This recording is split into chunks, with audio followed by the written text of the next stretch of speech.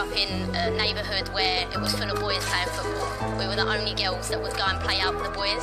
For us, it was about breaking that mould, then realising that once you did, you're respected. Our dad passed away when we were 18, which was, of course, a difficult time. He's the reason why we started playing and why we still continue to play.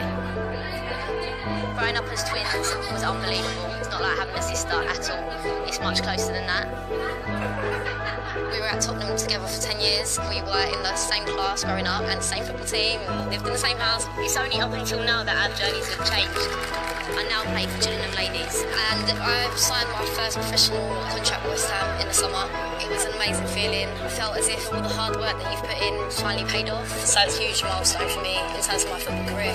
Being a professional footballer and football being my job was never an option until the league restructure come in and West Ham were put into the top league professional job. We can actually feel like footballers now. I just think you deserve that. It's a great finish. It's a great finish. That wasn't an easy technique. Women's football's going in the right direction 100%. I think there's now a platform for one, which was never there. Growing up, we didn't have that platform. And I think Rosie's journey with now being a professional footballer continues that inspiration of, oh my God, she was my coach and now she plays full time. I could do the same.